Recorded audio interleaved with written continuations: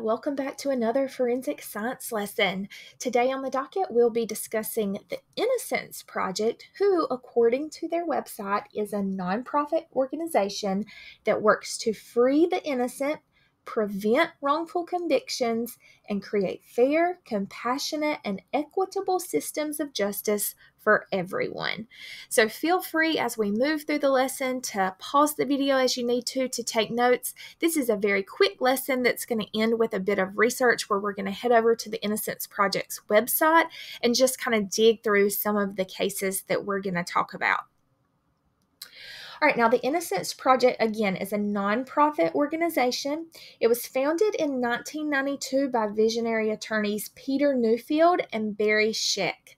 Now, they were actually part of the defense team in the O.J. Simpson trial. We know how that turned out, um, but they were considered the dream team. So after they they participated in the O.J. Simpson trial, they came together and formed the nonprofit, the Innocence Project, and they have a website. They have um, Innocence Project communities um, all over the United States, and they do a lot of important work.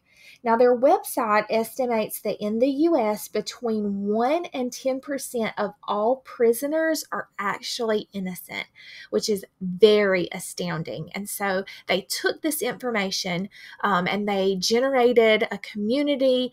They called it the Innocence Project. And again, their goal is to re examine post conviction cases and exonerate those who are wrongfully convicted. Now, they use DNA evidence to do that. Um, and they have to this date or to date have reevaluated over 360 cases. What they found in reevaluating those 360 cases is that 87% were wrongful convictions.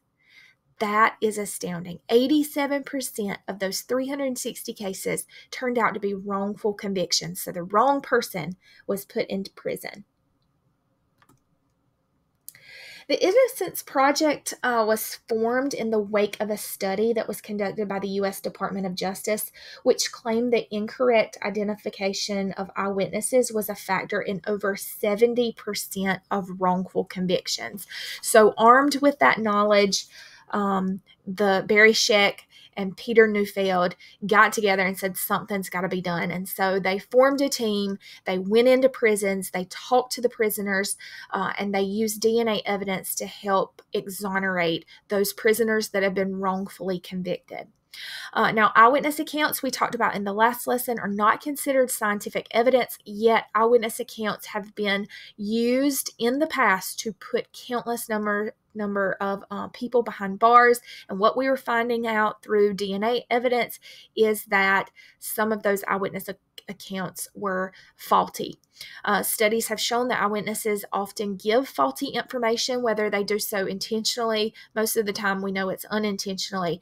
Uh, but regardless, because of that faulty information, people have gone to prison. And for this reason, the justice system now frowns upon convictions based solely on eyewitness accounts. They like to have some evidence uh, to go along with it. We know eyewitness accounts are important, they provide leads that can lead to evidence, and then that evidence can be used in court to convict an individual. Um, but we no longer use eyewitness accounts solely to convict someone of a crime. Now, the Innocence Project focuses exclusively on post conviction appeals where DNA evidence is available to be tested or either retested. Now, what we're going to do in class is we are going to head over to the Innocence Project's website. So, we're going to go to the innocenceproject.org. We're going to click on cases and we're going to dig through and look at some of those cases. Remember, there's over 360 cases. Uh, we're going to look through some of those cases and you're going to select one. You're going to research that case and then you're going to create uh, an Innocence Project banner from that uh, to showcase what you found. And I will see you in the next lesson.